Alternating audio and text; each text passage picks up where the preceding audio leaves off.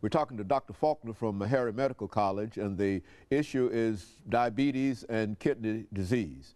And of course, uh, Dr. Faulkner, let's give you an opportunity to uh, talk about uh, diabetes and uh, perhaps give us uh, what you might consider a checklist in terms of uh, the impact and the effects that this disease has upon individuals. Well, once you're diagnosed with diabetes, then there are several things that you must keep up with. Mm -hmm. One is your cholesterol, you should get it checked every year. Mm -hmm. uh, another is your eye exam. You should get that checked mm -hmm. every year as well. Then, as it relates to your blood sugar, your mm-hmm. hemoglobin A1C, you get that checked every mm-hmm. six months. If it's not mm-hmm. controlled, every three months until it's controlled. So there's several things you need to check on.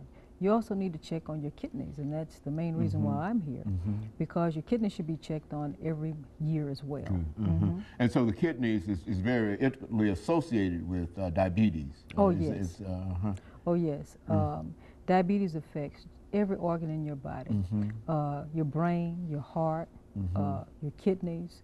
It, it, it just affects just about every organ in your body. Mm-hmm. Um, if you don't check your diabetes and it gets out of control, Mm -hmm. Then you start to lose protein in your urine. Mm -hmm. And once you start to lose protein in your urine, mm -hmm. after about a 10 year period, you could end up on the dialysis mm-hmm. machine or mm-hmm. kidney machine. Mm-hmm. And talk about uh, the uh, kidney machine or dialysis. Uh, what, what's the process in, in, reference to that? Well, dialysis is a, is a form of renal replacement therapy. Renal means kidney. So it's a form of therapy that we can use to substitute your kidney. Mm -hmm. uh, of course, it is not 100% like a mm. human kidney, but it maintains your life lifespan, mm -hmm. and it, it, gives you an opportunity to wait on a kidney -hmm. transplant. -hmm.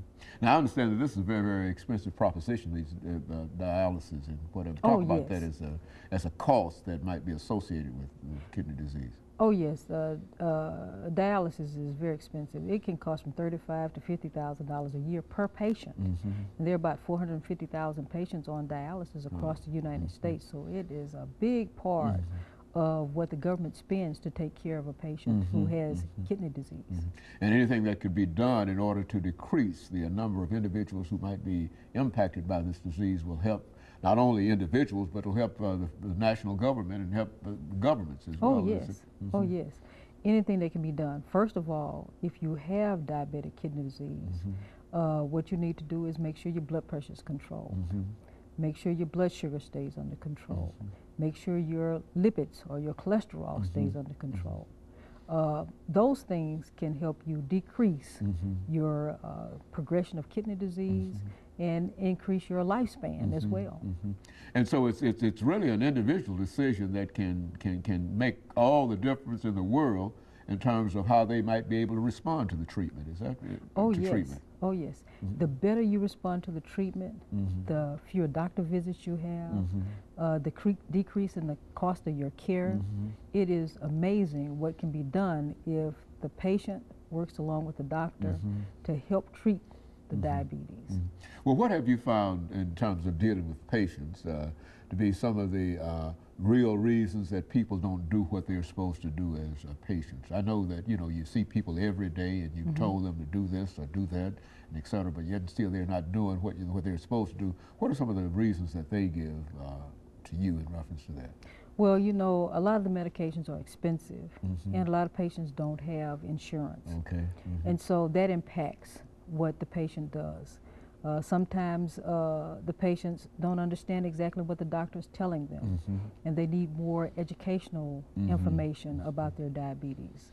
A lot of times the patients might not take you as seriously as mm -hmm. you would like them okay. for them to take you mm-hmm. uh, when you're talking about monitoring their blood sugar. Mm-hmm. You know, patients on with diabetes have to monitor blood sugars many times during the day to make sure that it stays under control. Mm-hmm. And of course, uh, in your normal routine while you're working, if you have to monitor your blood sugar four times a day, three to four times a day, mm -hmm. it's very mm-hmm. difficult mm -hmm. to, to work all day and then mm -hmm. do the mm-hmm. things that you need to do to mm-hmm. monitor your blood sugar and give yourself insulin and so forth. Now, there are some uh, occupations that uh, you would probably have a difficult time uh, dealing with uh, if, if, if, you do have some problems with uh, kidney disease or diabetes. Is, that so? I mean, you can't live a normal life in, a real sense if you've got chronic kidney disease, can you? Well, now you're talking about kidney disease as opposed to just Di- having uh, diabetes. Uh-huh. Uh, kidney disease, uh, yes, there are some things that you cannot do, uh, Mm-hmm. depending on the type of renal replacement therapy you accept. If Mm-hmm. you want hemodialysis, of course, you have to go to a dialysis facility and Mhm. dialyze Mhm. three and a half, four hours, Mhm. three times a week.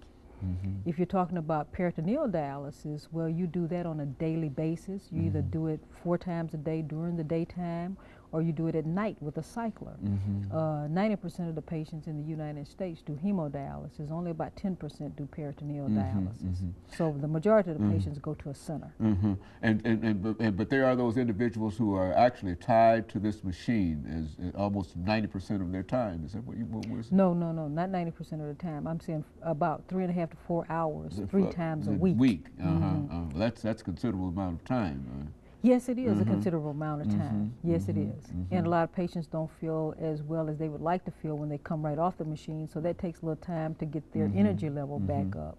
Uh, so it does take quite a bit of your time during the day. Well, now, it, it- is, is there some kind of preventive thing that you could say to people who, Mm-hmm. uh, who might later on fall into a situation where they have to come to uh, a center or, or wherever three times a week, four hours at a time, and et cetera? What can you say to people who might be going down that road? I mean, you, you certainly, you, you know, by dealing with them, you can see the progression that this disease is having on them. What can you say to them to make them understand that unless they do check their situation, that uh, that will be the ultimate outcome? Well, uh, one thing is that monitor your blood pressure. Make sure your blood pressure stays normal. Diabetics have to have a normal blood pressure. 120 over 75 is the optimal blood pressure for them. Uh, make sure the blood sugar stays under control. Uh, make sure the cholesterol is under control. Those things will certainly help to decrease the progression of kidney disease. Now, there are some medications that we use, uh, angiotensin uh, receptor blockers, angiotensin 2 receptor blockers. We use those to help uh, decrease the impact of diabetes on the kidney. Uh, also, we use uh, angiotensin converting enzyme inhibitors, which we call ACE inhibitors. And a lot of patients on those medications, and those two medications help to decrease the progression of kidney disease. But now, of course, as we get ready for this uh, second commercial break, uh, Dr. Faulkner, uh, uh, it, it- it can be said that uh, if individuals do have these problems and they can't uh, get the medication, then it's almost impossible to deal with the real problem without the medication. Is, would that be uh, correct? Well, uh, if you, the medications are very cheap. Mm-hmm. So now you, you may be able to deal with it a little Mhm. better than when they first came out. Very good. And of course, we'll be back with our audience following this very, very short uh, commercial break.